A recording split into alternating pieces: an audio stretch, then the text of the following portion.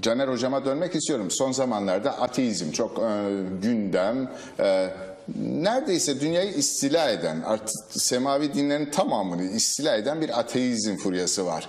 Yoga yapıyoruz, şuydu buydu derken aslında her tarafta bir şirinlik gözükmeye başladı. Bunu neye bağlıyorsunuz hocam?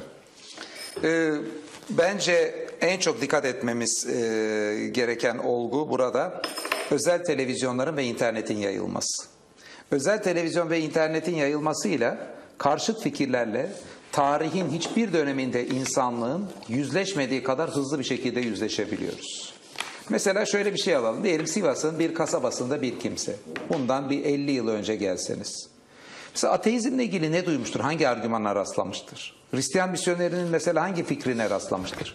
Satanizm diye bir şeye ulaşması mümkün müdür bir fikre? Değil. Scientology diye Tom Cruise'un içinde, içinde olduğu bir tarikatla ilgili detayları öğrenmesi mümkün müdür? Değil. Ama şimdi orada 15 yaşında bir çocuk yine orada o köyde geliyor bir tuşa basıyor satanizm diye bir şeyle karşılaşıyor. Bir tuşa basıyor Hristiyan misyonerlerin Kur'an'a hücumu var. Bir tuşa basıyor bir ateist örgüt, dernek veyahut da bir kişinin kurduğu internet sitesiyle Allah'ın varlığına karşıt bir saldırı var veyahut da bir kişinin Kur'an'a karşıt bir saldırısı var. Bütün bunlarla yüzleşiyor. Bu çok çok yeni bir olgu. Tarihin geniş bir döneminde insanları gelenekle ayakta tutmak çok daha kolaydı. Yani insanlar mahallesinin e, nasılsa aşağı yukarı öyle oluyorlardı. Arkadaş çevresi nasılsa öyle oluyorlardı. Özellikle birkaç yüzyıl önce. 50 yıl önce de bunu kısmen devam ettirmek daha kolaydı. Fakat şu anda e, mahallesinden duymadığı, arkadaş çevresinde duymadığı, ailesinde duymadığı, devletin eğitim kurumlarında hiç duymadığı apayrı fikirlerle pat diye ve çok rahat karşılaşıyor. Ve bu aygıtlarla yani özel televizyon ve internetle insanların yüzleşme, karşılaşma oranları e, geri kalan e, bilgi aldıkları bütün kaynaklardan çok daha yüksek. Bakın Türkiye'deki ortalama televizyon seyredilme saati 4 saati geçiyor. 4 saat civarı diyelim.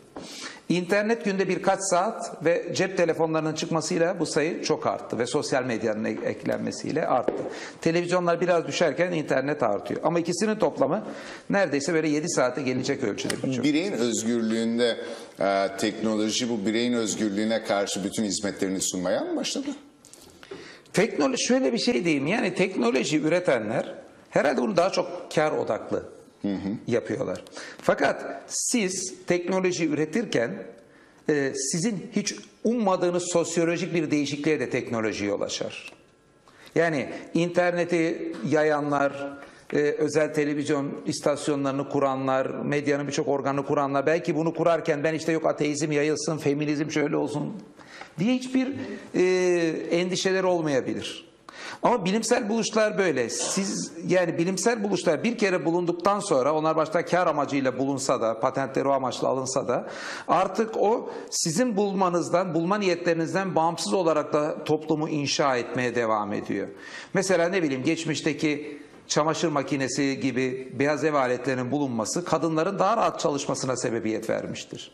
Niye? Çünkü ev işlerini artık çamaşır makinesiyle diyelim yaptığı için, buna benzer beyaz eşya aletleri olduğu için kadınlar ev işlerinden daha çok özgürleştikleri için mesela ticarete atılmaları, dış evin dışındaki alanlara girmeleri daha kolaylaşmışlar. Çamaşır makinesini icat eden kimsenin buna hiçbir niyeti olmayabilir ama sonuçta o öyle bir Amacının dışına sapma mı Tabii. teknoloji? Tabii teknoloji birçok kimse onları bul, interneti bulan kimse bulanlar CERN'deki mesela yapılanların mesela bununla alakası var daha çok e, istihbaratla ilgili belli şeyleri yapmak için CERN'de belli fiziki işte deneyleri yapmak için kullanılırken internet belki onu geliştirenlerin hiç ummayacağı şekilde şu anda dünyadaki bütün sosyolojik yapıyı değiştirdi, bilginin akışını değiştirdi.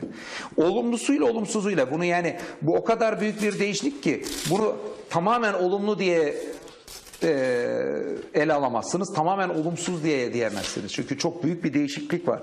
Bir yandan bakarsanız mesela birçok kimse psikolojik açıdan e, insanlarla hiç görüşmeyen insanlar e, böyle çok kendi kapalı yaşayan insanlar ve mesela diyelim özürlü olup da evin dışına pek çıkmayan insanlar e, burada daha rahat sosyalleşiyorlar.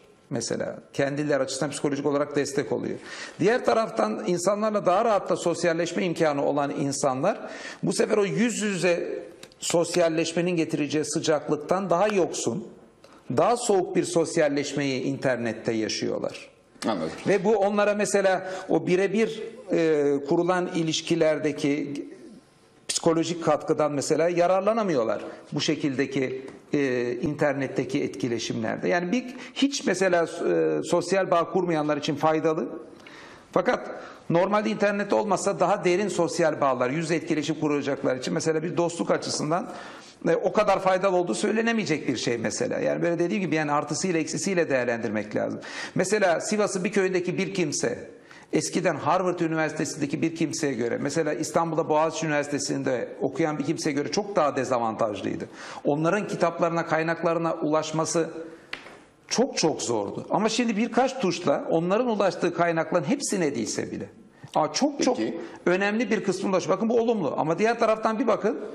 Pornoyla e, ondan sonra ne bileyim e, insanlara zarar verecek silah yapım reçeteleriyle satanizm gibi görüşlerle de çok rahat ulaşmada bir sınır tanımıyor. Peki Olumlu ve olumsuz. olumlu ve Olumsuzuyla olumsuz. olumsuzluğuyla. Teknolojinin böyle bir yapısı var.